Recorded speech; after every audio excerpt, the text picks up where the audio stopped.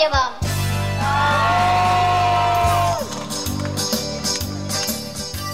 В